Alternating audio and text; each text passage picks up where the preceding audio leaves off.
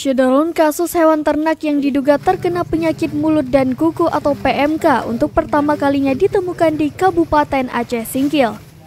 Kasus tersebut ditemukan di Desa Selok Aceh, Kecamatan Singkil.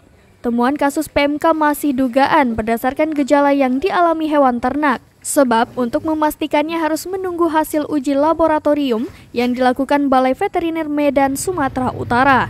Sementara itu, di lokasi tim Balai Veteriner Medan didampingi petugas dari Dinas Tanaman Pangan Hortikultura dan Peternakan Aceh Singkil melakukan pengambilan sampel terhadap ternak sapi untuk diuji di laboratorium.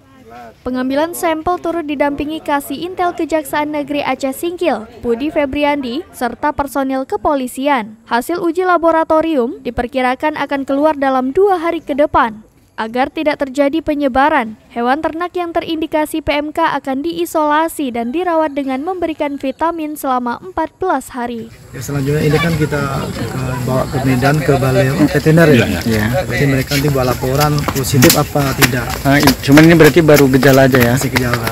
Untuk memastikannya itulah ya, nanti. Memang gejala PMK salah satunya ini nampakan. Hmm. Cuma yang menentukan kena PMK atau tidak tetap dari lab, hmm. lab. Nah itu kita proses ya dalam waktu dua hari. hmm. kalau tidak ada antrian sampel sudah selesai. Nah, nanti ini pak untuk sampel-sampelnya yang ada di sini itu nanti prosesnya pemberitahuannya ke dinas di setempat sini ya? Ya langsung kepada tempat di mana sampel diambil khususnya dinas yang bawa fungsi peternakan ya. Oke pak. Bersama bapak siapa nih pak?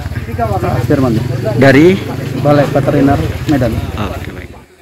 Dari Singkil Dede Rosadi, Serambi On TV.